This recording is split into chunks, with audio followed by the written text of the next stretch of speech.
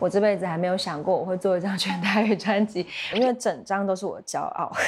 如果只能选一首歌推荐的话，我会说是。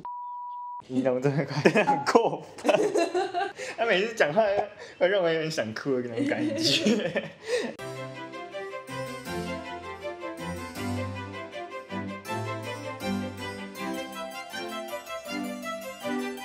Hello，大家好，欢迎收看《婴儿仔》，让我们欢迎本集的特别来宾伊农。Hello，大家好，我是怡农。伊农从上一张给天王星之后，然后到这一张水逆，要不要来特别介绍一下？因为算是完全不一样的挑战。对，水逆是一张全台语专辑，它是我的第四张个人专辑。我这辈子还没有想过我会做一张全台语专辑。我跟我的制作人青浩，我们一起安排了整个专辑的脉络，它的叙事，希望可以是把沟通的各种面向描绘出来，变成一个完全体的一张作品，所以取名叫水逆。目标是大家听完之后会觉得，哇哦，台语歌可以这样写。仪农以往的作品是截然不同，不管是在编曲。或者是这次还有跳舞，然后或是全台语的这个风格呈现，对你来说应该都是不同的突破，对不对？要不要分享一下这个心境？我觉得创作，你每一个阶段本来就会有想要突破的事情。我觉得创作人就是会找自己麻烦啦，就是自己的要求无限拉高的。对，而且那个要求是可能包括语种的转换啊，比如说我现在用了全台语，那这件事情本身就它有一点反过来是破坏了我自己原本的创作的方式，但是也借由这个不断的自我破坏，你会激发出很多的能量，你会发现有很多自己其实可以做的事情，就像你刚刚讲的舞蹈啊，那因为我我自己本来我高中是舞蹈班的，所以跳舞对我来讲是身体还有记忆的事情，我现在把它重新挖掘出来，也就有了一系列的影响，这样子。这次为什么会特别想要再把舞蹈重新再出来这件事情？我觉得舞蹈也是一种语言啊，而且它是很来自灵魂深处的东西。那不如我这次就尝试看看，也用这个方式跟大家说话。让我想到你这次 MV 里面也都是用跳舞的方式，就是不止一只哦，是两只。目前有试出的影片都有跳舞，对而且是采用一镜到底的方式。嗯，要不要来特别介绍一下这个新世纪的女儿，主要是前面的大概三分钟左右，会是一个镜头不断的往前又往后，然后那个往前每一次造型团队就帮我换一组衣服，然后同时我还要进行一个表演，就是人生各个阶段的不同层次的状态，这样你要在短短的三分钟之内做完这所有的事情，所以那个挑战。是包括拍摄团队，包括造型团队，对对对，就是我印象真的很深刻，因为我的造型她是一个很冷静的妹子，可是她在帮我换的时候，我都看到她的手一直在抖。我们这些做创作的人啊，常常面临到的问题就是如何在这个有限的预算之内讲完我想说的话。那其实一首歌的长度，这个也是一个创作的预算，所以这综合起来呢，去把一个概念讲完整，一个手法去讲完一个概念，这就会是很好的做法。这次很开心可以。跟导演李艳如，他是《冥王星图》的导演，然后他就是一个概念控，所以他就想到说，哦，那我们就在三分钟之内换四种造型，这样。我想说你疯了吗？但是就好吧，我们就做做看。换完这一系列造型之后，最后我解放了自己，然后开始有一段，其实那个完全不是排练过的，它就是我在当下感觉是怎么样。都是即兴的吗？对啊，我都是即兴的，所以就是开心的跳了一场这样子。其实我在 MV 中有注意到一种，就是都在女儿学生。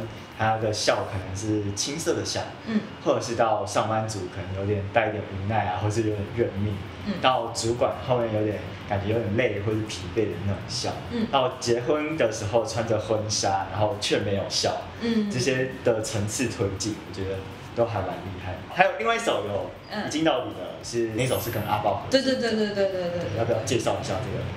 或许就变成书里的风景是我跟阿豹合作的歌曲，那它的宗旨就是我们一起发明新的语言，它就是一个超越语言的东西。所以找阿豹来合作，这个概念本身就很明确。也就是在那个时候，我第一次尝试了跳舞嘛，我觉得舞蹈也是一种语言。那个时候就有找一个老师，因为他发现我的个性，所以他就会跟我说：“你现在想象你的手是水，水到某个点的时候结成冰，他会用这种很意义上的方式。可能在教课时候会数拍子，可是他发现他跟我数拍子没有意思，因为我自己不太数拍子，他有在听我的音乐，所以我们很契合。就在这个很契合的氛围里面，就诞生了一个其实里面符号很多的舞蹈。导演陈科汉他也是第一次拍跳舞的，他是一个很尽善尽美的个性。我们就找了一个很漂亮的场景，然后我们大量的运用那个场景的空间去编排这个舞蹈，整体都是希望可以思考的很完善的去做这件事情。这一张专辑大概十一首歌，我想问说里面歌曲有没有故事啊，或者是巧思是你特别喜欢？我可以先分享我自己听到我最感动、最感动的，是在最红台那首。他那首其实算是鼓励了我吧，就是在不管是负面情绪啊，或者什么的，我都在的那种感觉。嗯。然后在那一首歌里面，阿妈有现身。对。他整首歌的钢琴，他高频不会很多，就是比较偏中低频比较多。对对对。就是有比较温暖的那种细节在里面，所以我就很喜欢嗯。那一龙可以分享一下。纵红胎是一首，它是一个隐喻嘛。我常常在跟大家分享这件事情，就是台语写歌最困难的地方是像我这样的隐喻狂，会不是很好找到隐喻的方式，因为通常台语的隐喻会是俚语，然后俚语是很难入歌的。那我最后找到一种做法是，那我就用很直白的语言去创造一个场景，很像在演戏一样的东西。那那个场景是什么呢？就是外面在刮台风，可是现在这屋子里面，然后可能有点停电，可是只要有我跟你在，我们一切就会没事的。明天云就会开，当然也就是一个人生的隐喻，就包括我可能会写到否定的声音一直撞在窗面上面，然后。我们跟快乐之间的路径就被阻隔了。我觉得这张专辑里面有很多我的私密面相，像写这首歌的时候，那比较是那我自己在面对什么呢？我觉得中间那个阿妈的那一段声音，听到那边的时候，我现在就哭，我完全可以想象。那因为阿妈就是一个我们的共同记忆嘛，我们每个人都承接了长辈的温度，慢慢慢慢的成长，然后有他们很多的关心，可能有时候有点烦。可是，在外面一直刮风下雨的时候，我最想听到的是阿妈。声音，所以我的制作人青后他也知道这点，他就是他有了这个 idea，把它取材，接下来放进去。本来我还想把它换掉，因为我在想说会不会离年轻人的生活太远，还好我没有拿掉，真的还好没有拿掉。我的设计师 Miss 他是一个装帧控，所以他的每一次的装帧都很精美。那就好美的。对，就是这个盒子也是一个很扎实礼品的概念，而且每一个都是巧思。它后面的也是，对对对对对，还有很多细节在里面。这边这一张啊，是我自己拍的照片，然后每一个人拿到的可能是不一样的，对对，它是有好几组穿插在里面的。然后这边就是歌词这样子，里面有一些我的照片，我觉得很好看耶，我超喜欢的，我超喜欢。说我每次在做这种事情的时候，我都想说我照片是不是太多啦这样，但大家好像很开心啊。对，然后这些照片呢，我们最后决定用一个比较复古感的方式呈现，就是因为。我认为真正的沟通障碍是很心灵层面的，所以我用了一个比较反科技的概念。那这个是预购版才会有的一张小海报，已经绝版了。对，底部还有一个照片。大家喜欢的话，现在瓶中版买得到，大家可以上各通路去买。好，谢谢一东。其实还蛮想听，就是你跟阿妈之间的故事，跟阿妈连接是怎么样？我还蛮想知道。我阿妈她算是家族的核心，就是我们家算是一个母系社会，然后这是很自然生成的，因为阿妈都笑笑的，很幽默，有的时候也会耍一些笨。然后她的人生其实过得蛮辛苦的，而且他一个人带大五个小孩，可是他就是用这种笑笑的方式，竟然可以让五个小孩都没有变坏，在一个很穷苦复杂的环境之下，可是他让五个小孩都不只是。乖而已，他很有向心力，都成为了很温暖的人。我觉得这是很重要的事情。那有没有什么是你出社会之后被迫改变的故事？我的本性就是我喜欢让我身边的人可以满意，我是会取悦他人的类型。可是我成长的过程中，逐渐的发现，因为你身边人爱你，他们其实就想要看你做你原本的自己嘛。对，可是你却为了他改变自己，或者是你压抑自己。我觉得各式各样的家庭，或是各式各样的人跟人的关系都会遇到，就是大家都有说不出来的话，然后久了之后越来越说不出来，距离越。越来越远，到了现在这个年纪，我知道了这件事情，所以我就开始完完全全变成一个任性的小朋友。我在遇到工作，我处理事情，跟大家讲话，好像都想得很清楚。这样，可是一结束那个工作状态，我就是一个彻底的废物。那我现在就接受这样的自己。我觉得很好哎，因为其实说在现代社会中，很多人说做自己，其实。是真的很困难的一件事情。曾经有一度，大家很认真的在说做自己，比如说我穿这个，我就是做自己；我做这个行为，我就是做自己。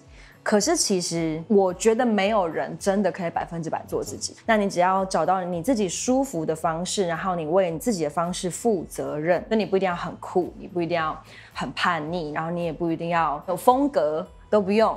那你只要为你自己的选择负责，我觉得那就是做自己这样。然后享受当每一个当下的自己。对啊，对啊，我觉得是。要不要来分享一下其他首？我特别想听一个，就是《天已经要光》跟《亲爱的》这一首。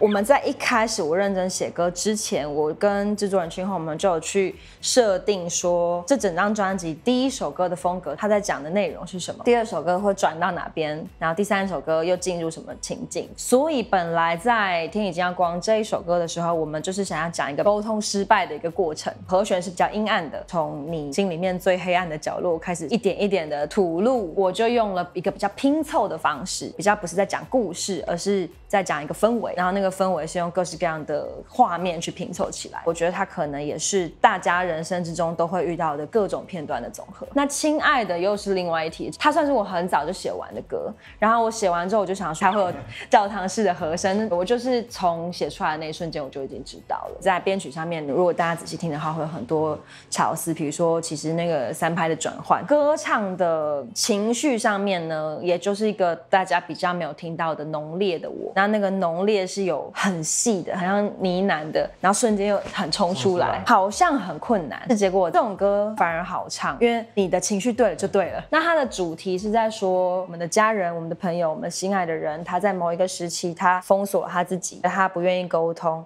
然后身边的人就会觉得很揪心，替他感到辛苦，然后也很想帮他。我是在写这个旁边的角色的心情。那我自己也常担任这个角色，所以就刚刚好。最常遇到周遭朋友是有这样的状态的。我觉得应该是大家其实都都是吧。天已经要光这一首歌，有一则留言还蛮符合我那时候想到的。他说，在天已经要光这首开头的环境音跟第二段的碎拍，把往前推进的情绪和前进感都散落一地。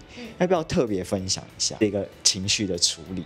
像《天影加光》的前面有一首，后来我们给它取了一个名字嘛，叫做《Speechless》，它就是一段没有歌词的东西，然后那里面有大量的环境音，啊，这个是君后他的一个，我觉得应该算是他近年的音乐生涯的重点吧。他是一个很心思细腻的男子，他平常听到各式各样的声响，那些东西其实带给他很大的情绪，他就想要把这个东西真的融入创作里面，这是他想说的话。那刚好我也是这样的人，所以我们就会很。契合，所以在那些声响里面，确实很多取样，比如说电铃的声音，那那可能就是他家的电铃。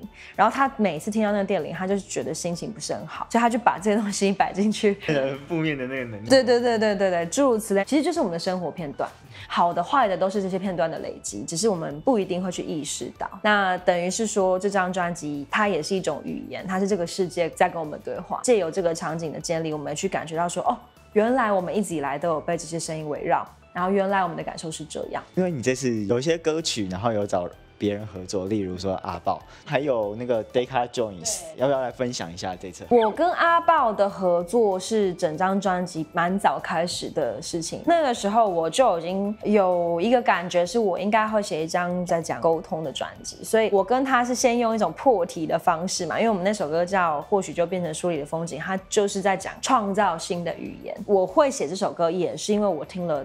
他的专辑《母亲的舌头》，我觉得很奇妙，因为我明明就听不懂台湾语，而且我在没有看歌词的状况之下，整张听完之后，我却感动到不行。那我想，这个就是超越语言的能力，所以我就出现了这个灵感。那时候我还不认识他，我就说：“你愿不愿意跟我一起创造新的语言？”然后他就说：“好啊，一起来玩吧。”我们的缘分还蛮有趣的，就后来我们就陆陆续续一直有在碰到。但是我们在写那首歌的时候，就是两个很陌生的灵魂。然后第一次我们用歌曲去跟彼此碰撞。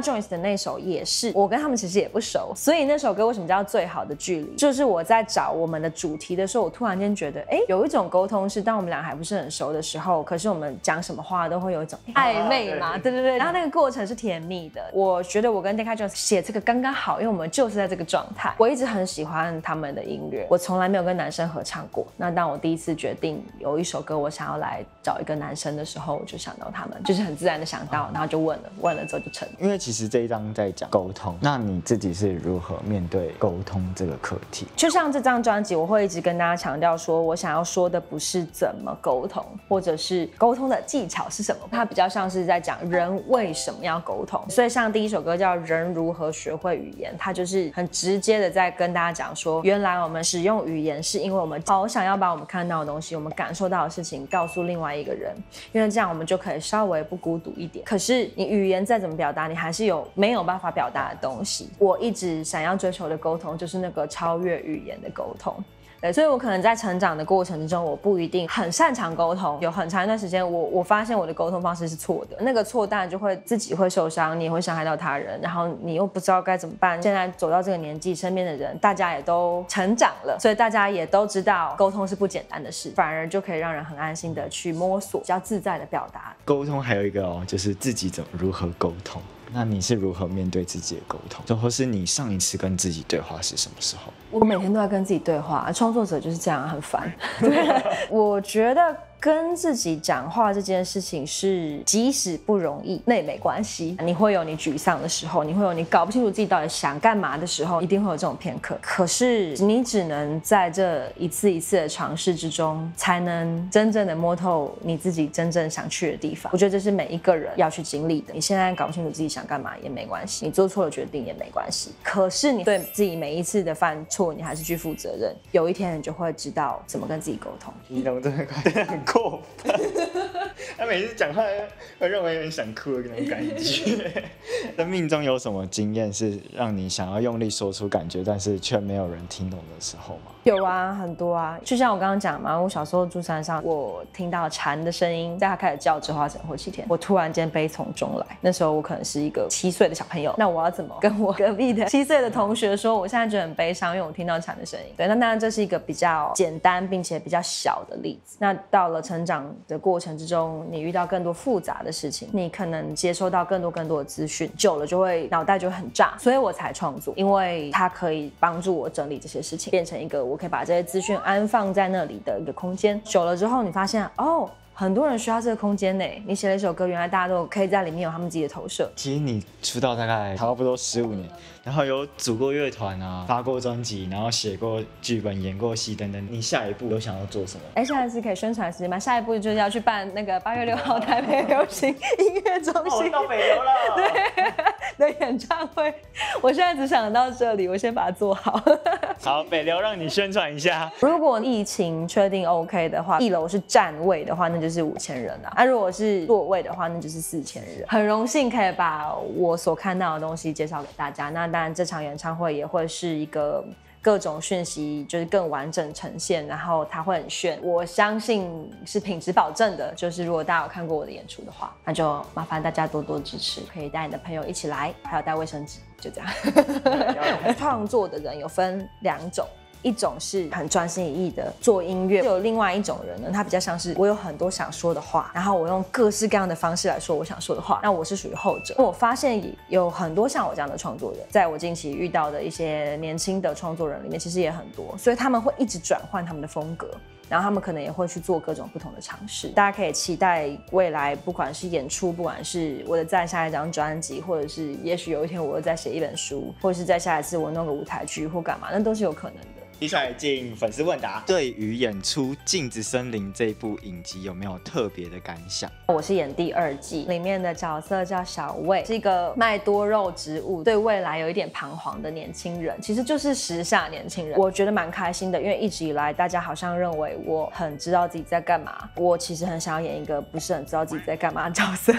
我觉得整个过程很开心啊，因为团队很强，然后我每天都在多肉植物的围绕之下 啊，我喜欢。植物嘛，所以就很合理。本来那个角色其实设定是一个电玩展，然后我还因为这个，我真的去练了传说对决，练到我觉得我现在有点上瘾。结果后来根本就没有。之后蛮想要演看这种角色的，我是会打电动的，我还会做很多你们想象不到的事情。问一下这张专辑吗？最喜欢或是最骄傲的编曲是哪一首？这个太难了，因为整张都是我的骄傲。